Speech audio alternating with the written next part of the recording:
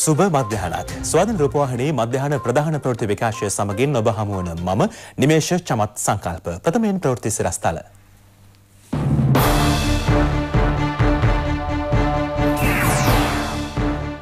Corona රෝගීන් හාරසිය විස්සක් වෙද්දී වැලිසර නාවික බටයන් හාරසියක් අද PCR පරීක්ෂණයට.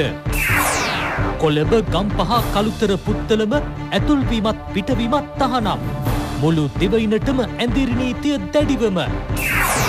ගුවන් ගමන් තහනම මැයි පහළවතෙක් දීර්ඝ කෙරේ. කොරෝනාවට එරෙහිව ලෝක නායකයන්නෙක් වෙද්දී ට්‍රම්ප්ගේ විෂබීජනාශක එන්නත් කතාව නොවීම හාස්‍යයට.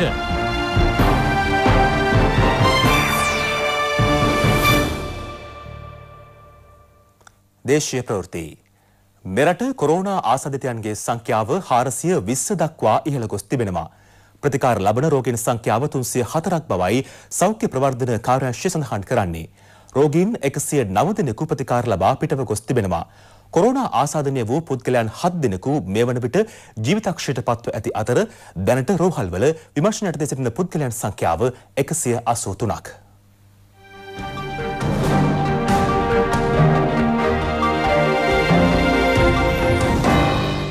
වැලිසර නාවික හමුදා කඳවුරේ සිටි තවත් සෙබළුන් 401ගේ PCR පරීක්ෂණ අද දිනේ සිදු කරන බව සෞඛ්‍ය සේවා අධ්‍යක්ෂ ජෙනරාල් විශේෂඥ වෛද්‍ය අනිල් ජාසිංහ මහතා ස්වාධීන රූපවාහිනියට ප්‍රකාශ කළා.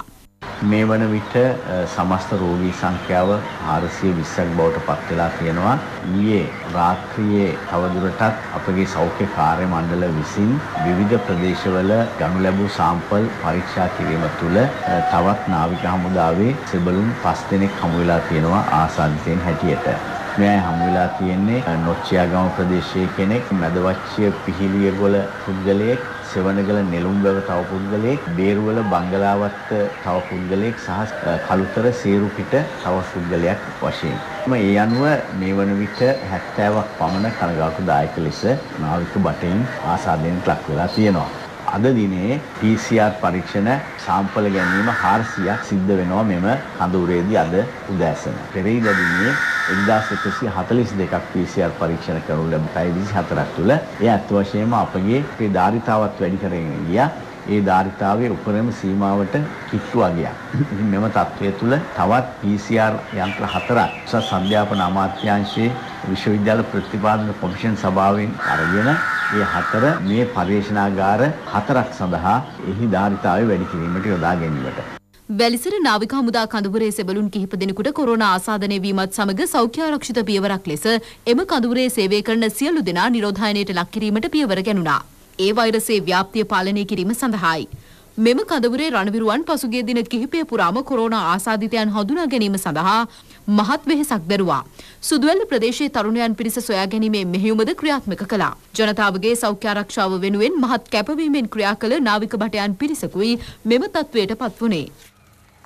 එම කඳවුරේ සේවය කර නිවාඩුවට සිය නිවසට ආ රක්වාන හොරමුල ප්‍රදේශයේ සෙබලකු වෛද්‍ය පරීක්ෂණ සඳහා රත්නපුර මහරෝහලට ඇතුළත් කෙරුණා.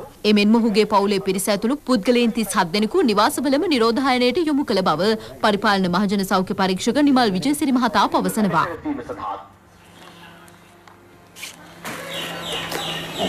විදක ඉඳලා උදා 6 වෙනිදා වෙනකම් දවස් 14ක් වෙන් වෙලා ඉන්නෝනේ. ඒත් එක්ක මොනේ පවුල දාන මාස් දානෝනේ. වැලිසර නාවික හමුදා කඳුරේ සිට නිවාඩු ලබා පැමිණි රණවිරුවන් පස් දෙනෙකු සහ ඔවුන්ගේ පවුල්වල අය ස්වයං නිරෝධායනයට ලක් කෙරුණා.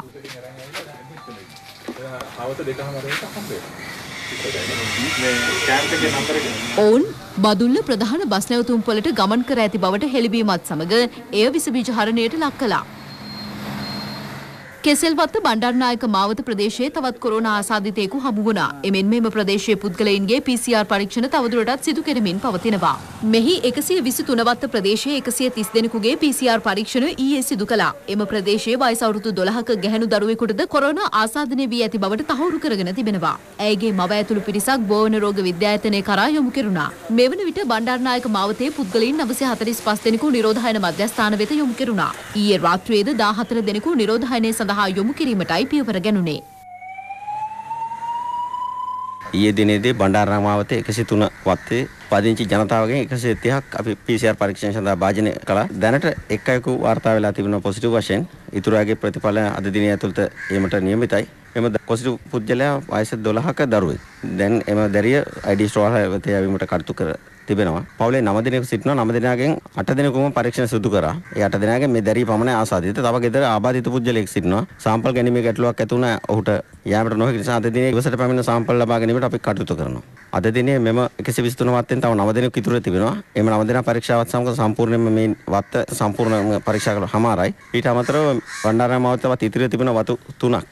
එම වතු තුනෙන් තව සාම්පල් 50ක් සහ බණ්ඩාරනායකමට අවත වතු කිහිපයක් තිබුණා. එම වතු වලින් ඉතුරු සාම්පල් තව 100ක් වශයෙන් 150ක් කිරීමට අද බලාපොරොත්තු වෙනවා. ඊයේ දිනේදී 14ක් නිරෝධායන මධ්‍යස්ථාන වලට අපි යවන්න ලැබුවා. පවුල් තුනකට අයත් COVID-19 වෛරසය ව්‍යාප්ත වීමත් සමග ප්‍රතිකාර කටයුතු තවත් විධිමත් කිරීමේ අරමුණින් මැදිරිගිරිය මූලික රෝහල තුළද ප්‍රතිකාර ඒකකයක් පිහිටුවීමට පියවර ගත්තා. පොළොන්නරුව දිස්ත්‍රික්කයෙන් ආසාදිතයෙකු හමුවීමත් සමග පළාත් ආණ්ඩුකාර මහිපාල හේරත් මහතාගේ මූලිකත්වයෙනුයි මෙම ඒකකය පිහිටුවීමට පියවර ගැනුණේ. නිරෝධායන කටයුතුද තවදුරටත් අකණ්ඩව සිදුවන බව යුද හමුදාපති ලුතිනන් ජෙනරාල් ශවේන්ද්‍ර සිල්වා මහතා පවසනවා. එකසිය නම දෙනෙකු මේ ආසාධිතයන්ගෙන් මේ වන විට සුව ලබ ගිහිලා තියෙනවා. කියන්නේ හතරෙන් එක ප්‍රමාණයක් දැන්ටත් සුව ලබලා ගිහිලා තියෙනවා. විශේෂයෙන්ම කිව යුත්තේ ශ්‍රී ලංකා නාවික හමුදාවේ එම කඳවුරේ ඉන්න ඒ බට නිවාසයේ භෝජනාගාරවලත් ඔවුන් කඳුර තුල ඇසුරු කරපු ඒ සියලු දෙනාම වගේ මේ වන විට නිරෝධායන ලක් කළ තිබෙනවා. ඉදිරියේදී ඔවුන්ගේ PCR පරීක්ෂණ කිරීමටත් අපි බලාපොරොත්තු වෙනවා. පසුගිය දින කිහිපේ නිමාඩු කියලා තිබ්බ අයවලුන්ගේ පවුල්වල අයවලුන්ටත් අපි ඒ ආකාරයෙන්ම නිරෝධායන ලක් කරන්න කියලා තියෙනවා. ඒ අයවලුන්ගේ PCR පරීක්ෂණ ප්‍රමුඛත්වයක් මත අපි කටයුතු කරනවා. ඒ කටේ කරන්න. මොකද කඳවුරල ඇතුළේ ඉන්න කට්ටියගේ වඩා මේ අවස්ථාවේදී වඩා ප්‍රමුඛත්වයක් පිට ඉන්න ලබා දීමට අවශ්‍යතාවයක් තියෙනවා. මොකද සමාජයේ හින්දා හැකි පමණින් මේ ආකාරයෙන් සමාජයට ගියපු නාවික සෙවලුන් නාවික බැටියන්ගේ පවුල්වල අයලුත් එක්ක සියලුම දෙනා ඒ කන්ටැක්ට් තියෙන සියලුම අපි සොයාගෙන තිබෙනවා. සියලු දෙනාම මේ අවස්ථාවේදී අද දිනේදී නිරෝධායන ලක් කිරීමට බලාපොරොත්තු වෙනවා. ඒත් එක්කම තමයි ඊයේ දිනේ ලංකාවට පැමිණියා නේපාලයේ සිට ශිෂ්‍ය ශිෂ්‍යාන් පිරිසක් ඔවුන්ව නිරෝධායන ලක් කිරීමට කටයුතු කරනු ලැබුවා. ඊට අමතරව විවිධ ප්‍රදේශවල ආසාධිතයන් හමු ආකාරයට හාරදාස් හාරසිය අසූ පස් දෙනෙකු මෙවනටත් නිරෝධායනය නිමවී තම නිවෙස් බලා ගොස් තිබෙනවා. තවදුරටත් දෙදස් නමසය දහ දෙනෙක් නිරෝධායන මධ්‍යස්ථාන තිස්ස එකක් යටතේ තවදුරටත් නිරෝධායනය වෙමින් පවතිනවා. කොරෝනා වෛරසයට එරෙහි පරීක්ෂණ ඖෂධ හා එන්නත් නිෂ්පාදනය කිරීමේ ක්‍රියාවලිය වේගවත් කිරීමට සහ ඒවා ලොවපුරා බෙදා හදා ගැනීමට ලෝක නායකයන් ප්‍රතිඥා දී තිබෙනවා.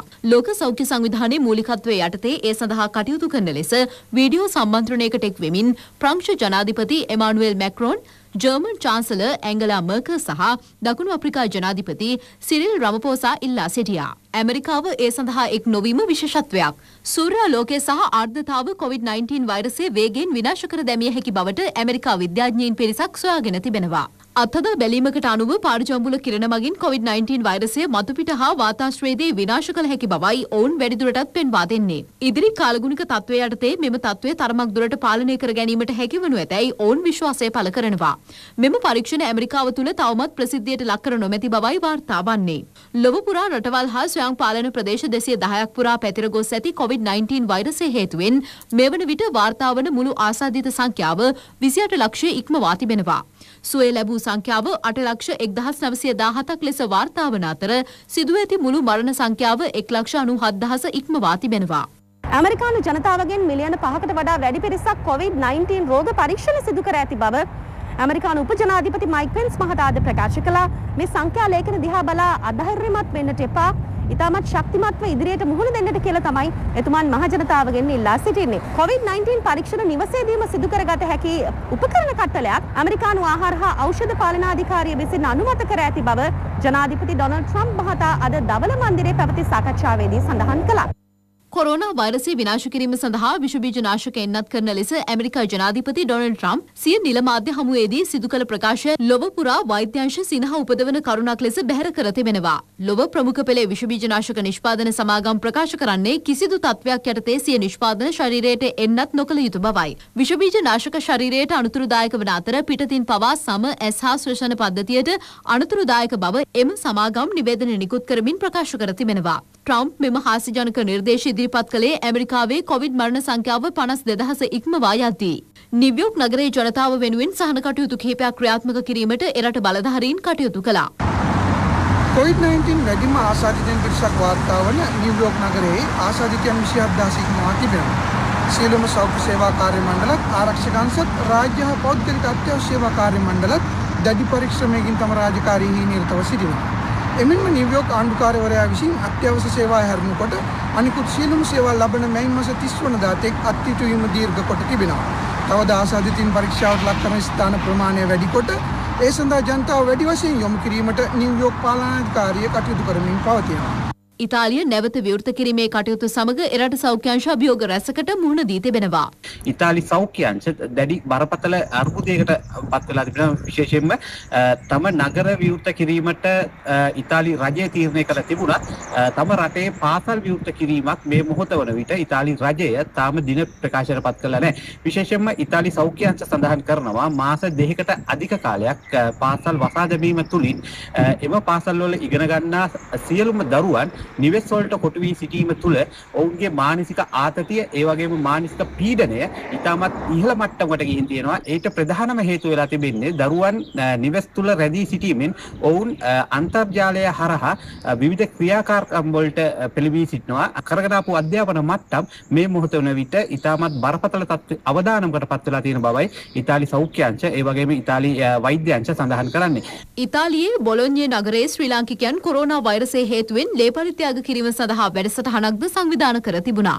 ඉතාලි බොලොඥා ශ්‍රී ලංකා සංවිධානය මගින් සංවිධානය කරනු ලබන ලේදන්දීමේ ව්‍යාපෘතිය අද බොලොඥා මෙම අවිස්්‍රෝවල් පරිසරයේදී අප ශ්‍රී ලාංකිකු විසින් පැමිණ අපගේ ඒ දායකත්වය ඒ පුුණ ක්‍රියාව අපට කර ගැනීමට අපට ඉතාමත්ම මහත් සායෝගයක් අද ශ්‍රී ලාංකික ජනතාව ලබා දුන්නා.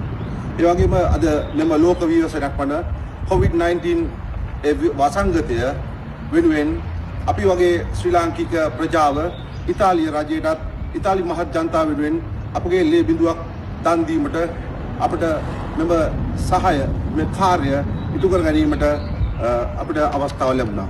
එවගේ මත මෙම යෝජනාව ලිලන්තේ සමරසිංහ මහත්මාගේ යෝජනාවක් මත එවගේම දුනේශ් මහතාගේ සාදර ප්‍රධ අනුග්‍රහයක් ඇතිව අද ශ්‍රී ලංකා සංවිධානය මගින් ශ්‍රී ලාංකික වෙතට ඒ යොමු කරන ලද ආරාධනාව මත දින දෙකක මේ වැඩ- වැඩමුළුවට සහභාගී වෙන්නට අපට හැකියාව ලැබුණා.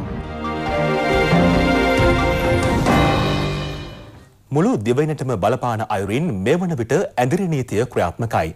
ඇඳිරි නීතිය කඩ කරන පුද්ගලයන් අත්අඩංගුවට ගැනීමේ මෙහෙයුම් තවදුරටත් සිදුවනවා.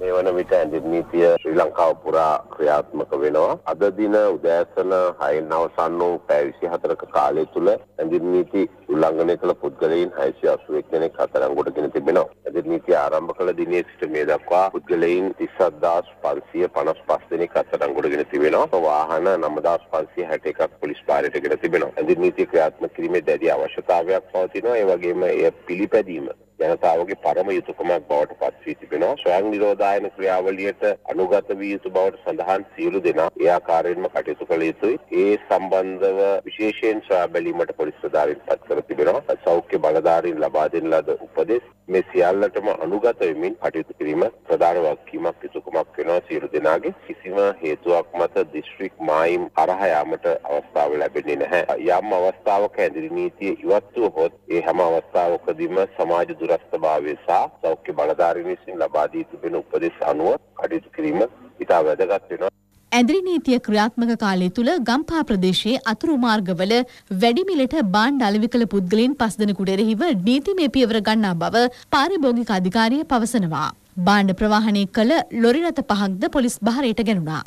බලපත්‍ර නොමැතිව ප්‍රවාහනය කරමින් තිබූ කසල තේතොගයක් සමග සැකකරුවන් දෙදෙනෙකු පොලිසිය අත්අඩංගුවට ගත්තා. කුඩා ලොරි රථයක්ද පොලිස් භාරයට ගෙන තිබෙනවා. හැටන් ප්‍රදේශයේ සිට රාගල දක්වා කසලතේ කිලෝග්‍රෑම් අටසයකට අධික ප්‍රමාණයක් ප්‍රවාහනය කරමින් තිබූ බවයි පොලිසිය ප්‍රකාශ කළේ. අත්‍යවශ්‍ය රාජකාරී සඳහා නිකුත් කරන බලපත්‍රයක් ලබා ගනිමින් බීමතියන් රියපදවමින් සිටි පුද්ගලයෙකු හොරණ නගරයේදී අත්අඩංගුවට ගැනුණා. දික්කේනපුර මාර්ග බාධකයේදී සිදු කළ පරීක්ෂා කිරීමකදී ඔහු අත්අඩංගුවට ගැනුණේ. අවිස්සාවේල නගරේ අමන්හලක වැඩිමිලට මත්පැන් අලවි කළ පුද්ගලයන් දෙදෙනෙකු අවිස්සාවේල පොලිසිය මගින් අත්අඩංගුවට ගත්තා. මේ අතර ඇඳරි නීති රෙගුලාසි උල්ලංඝනය කරමින් අයිස් වර්ගයේ මත්ද්‍රව්‍ය ග්‍රෑම් 15ක් සහ තවත් නීති විරෝධී මට්ටම් තොගයක් සමග සැකකරුවන් දෙදෙනෙකු වත්තල අල්විස්සත්ත ප්‍රදේශයේදී අත්අඩංගුවට ගැනුණා. මෙම මත්පැන් බත් පාර්සල් ආකාරයෙන් සැක නොසිතන ආකාරයට සකස් කර තිබූ බවයි පොලිසිය ප්‍රකාශ කළේ. කොටදිනියාව ප්‍රදේශයේදී ඇඳරි නීතිය කඩ කරමින් මාර්ගයේ ගමන් කළ 11 දෙනෙකු පොලිසිය අත්අඩංගුවට ගත්තා. යතුරු පැදි හයක් සහ ත්‍රිරෝධ රථයක්ද පොලිස් බහරයට ගැනුණා. මුඛ ආවරණ පැළඳ නොසිටි පිරිසට පොලිසිය දැඩි ලෙස අවවාද කළා.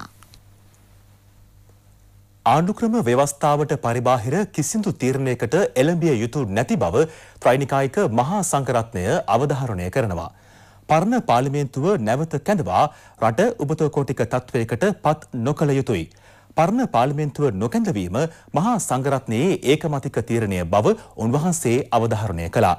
කොරුණා මර්ධනයට රජය ගෙන යන වැඩපිළිවෙල සහ වත්මන් තත්ත්වය සම්බන්ධයෙන් මහා සංගරුණ දැනුවත් කළ අවස්ථාවේ ජනාධිපතිතුමා හමුවයි උන්වහන්සේ මේ බව ප්‍රකාශ කළේ. කොරෝනා වෛරසය පාලනය නිරෝධායන ක්‍රියාවලිය ජනතාවට දුන් සහන හා ඉදිරියේදී දේශීය ආර්ථිකය ගොඩනැගීමට ගෙන ඇති තීරණ පිළිබඳව ජනාධිපති ගෝඨාභය රාජපක්ෂ මැතිතුමා ත්‍රෛනිකායික මහා සංඝරත්නය දැනුවත් කළේ ජනාධිපති කාර්යාලයේදී.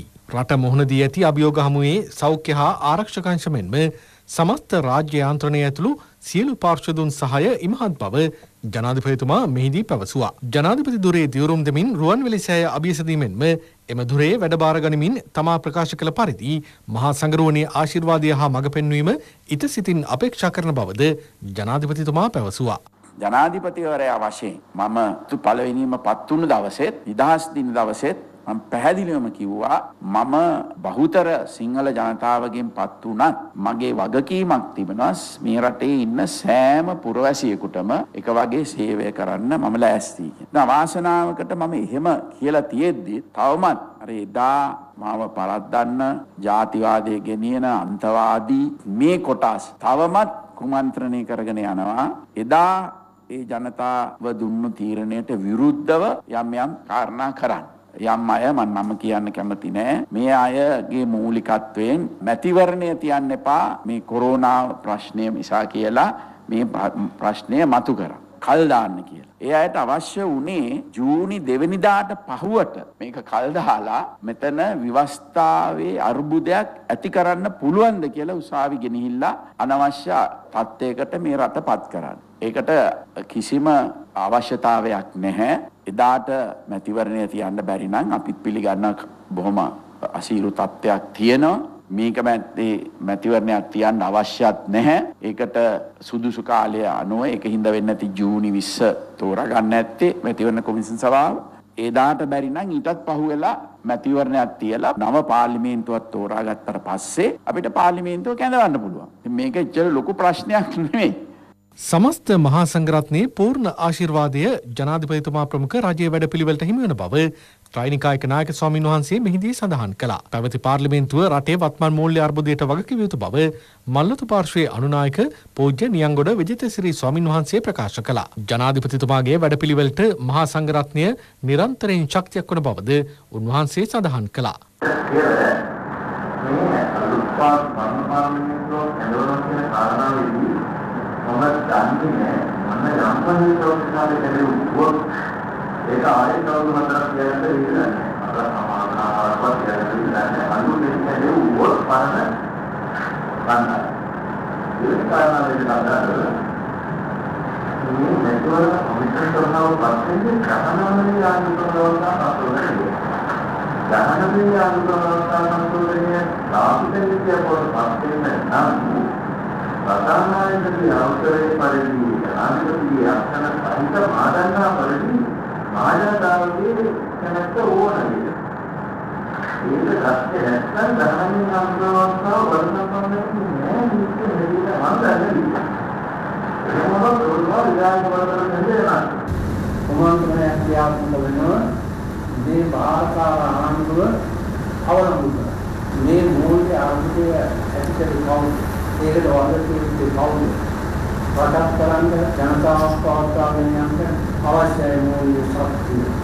ඒක දුන්නේ නෑ ජාතියේ තවත් ණය ගන්න දෙන්න බෑ. ණය පතරවාක මිනිස්සු තමයි කිව්වේ. තව ණය ගන්න දෙන්න. මොකක්ද පාර්ලිමේන්තුවට වෙලා කරන සැලැස්ම ඒ නිසා ඒක මෙයාගේ මානවතා දර්ශන මහාසංඝයාගේ තීරණය තියෙනවා. ඒකට කිසිම දෙයක් විරුද්ධ වෙන්නේ නැහැ මහා සංඝයාගේ කැමති. ඒ වගේම අපේ ජනතාව කැමති. සීමිත පිළිසක් අවුරුද්දක දේශපාලන වාසි තකාගෙන මේ ගෙදයන් ව්‍යාපාරික ඊර්ෂ්‍යාවෙන් කරන ලබන ක්‍රියාවක් පරියන් තමයි මේ පරිපාලනයෙන් කන්දරන්න කියලා කතා කරන්නේ. ඕක කනවලා උතන ජය ගහලා යයි කොරෝනාව පාර්ලිමේන්තුවට ගෝකරා. ඒකවල පාර්ලිමේන්තුව කොරෝනා පාර්ලිමේන්තුවක් බවට පත් වෙනවා. ඒ නිසා සම්පූර්ණයෙන් විරුද්ධයි කියලා දෙන්නේ. ඒ අතරන සේවක සමාජයට පළල පාර්ලිමේන්තුවට ඇදවීම සඳහා වෙනත් පාරක් හදාගන්න එකයි මේ කරන්නේ. මේ වෙනකොට ඔවුන් සාමාන්‍ය ජනතාව මන්ත්‍රීවරු නෙමෙයි. හිටපු මන්ත්‍රීවරු විතරයි. විසුරුවා හදවත පාර්ලිමේන්තුව. ඒ නිසා ඔවුන් නැවත ඇදවන එකට අපේ මේ ආමුදුරුවෝ මේ රටේම හැම ගමක් ගාන ඉන්න මේ රටේ ප්‍රබලම සංවිධානය තමයි මහා සංඝරත්නය. අපේ ගම්වල කියන්නේ මේ යන විදිහට කියලා කවදා හරි මැතිවරණයක් තියලා මේ පාර්ලිමේන්තුව රැස් කරනවා ඇරෙන්න. මේ තිබුණු පාර්ලිමේන්තුව නම් මොන හේතුවක් නිසාවත් රැස් කරන්න එපා කියලා කියන්නේ. ඒ නිසා අර විදේශවල කරන විදිහට ප්‍රසිද්ධ රැස්වීම පවත්වන නැතිව මහජන පවත්වන නැතිව අලුත් තාක්ෂණයේ භාවිත කරලා විශේෂයෙන්ම මාධ්‍ය රුක්වාණියාගේ මාධ්‍ය භාවිත කරලා ඒ හැම ප්‍රධාන විශේෂයෙන්ම සිනමාවකදී තාකාරයෙන් දාගෙන ප්‍රධාන තාක්ෂය වලට සමතුලිත ආකාරයට කාල වේලා වෙන කරලා මේ නැතිවරණය කරගන්නට අවකාශ ලබා ගන්න නැතිව විශේෂතාවක සාකච්ඡා කරලා මම හිතන්නේ මේ අවශ්‍ය පක්ෂය මොනවද යෝජනාවල් මොකක්ද හසුන් දුවා ඒ පාලනය කරගන්න පුළුවන්. මම හිතන්නේ මහා සංඝයා වහන්සේගේ අනිකුත් ආර්ථික නායකයන් පිළිස් කබාරින් මම හිතන්නේ ඒක සුදුසු ඉලක්කයක් නිකුත් අනික සාමාන්‍යසල වගේම අනිකුත් ආගමිකයන්ගේ පිළිදෙන්න සමග පවතින අවශ්‍යයි. සියලු මාධ්‍යන්තා වැඩිපුර මාධ්‍යන්තා ඒ වගේම සියලුම මහා සංඝයා කිපනවා කියන්නේ ඔබතුමාගේ විදිහට විශ්වාසය ඒ විශ්වාසය දුන්නේලා කියන්නේ ඔබතුමා සිද්ධාන්තවල නොදු නොදකපු දෙයකින් නෙවෙයි ඔබතුමාගේ යාත්‍රාවේ තුලින් මේ යාත්‍රාවේ ජනතාව මහා සංඝරත්නයේ පිටට දැනෙච්ච දේ ඒ නිසා දැන් අපි සතුටු වෙනවා මහා සංඝරත්නයේ හැටියට. මේ වගේ මොහොතක ඉදිරි යුතු පාලකෙක් දැන් අපේ රටේ ඉන්නවා.